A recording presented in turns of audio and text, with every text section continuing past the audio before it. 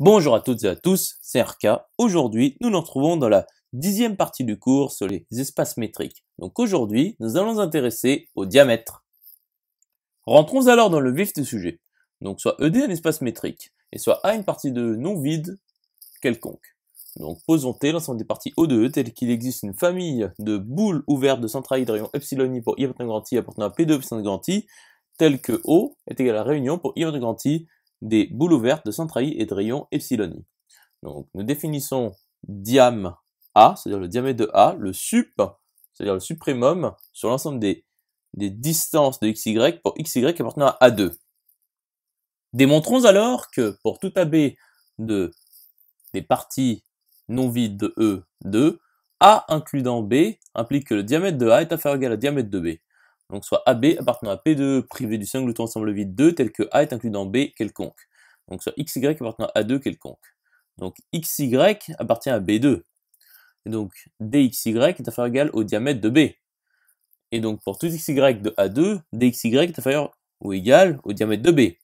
Et donc diamètre de A est inférieur ou égal à diamètre de B. Conclusion établie.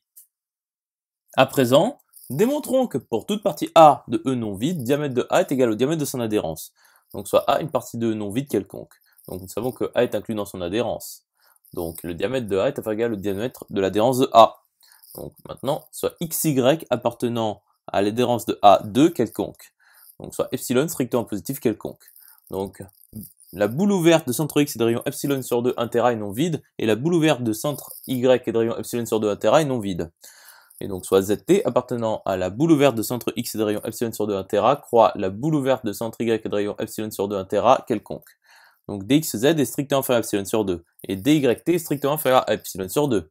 Donc DXY est inférieur ou égal par une égalité triangulaire à DXT plus DTY, est donc inférieur ou égal une fois de plus par une égalité triangulaire DXZ plus DZT plus DYT, qui est strictement inférieur à epsilon sur 2 plus diamètre de A plus epsilon sur 2 qui est égal à epsilon plus diamètre de A.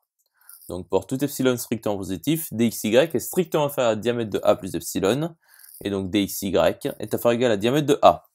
Donc diamètre de l'adhérence de A est inférieur égal au diamètre de A. Et donc diamètre de A est égal au diamètre de l'adhérence de A. Conclusion établie. J'espère que cette vidéo vous aura plu et vous sera utile nous nous retrouvons dans la onzième partie.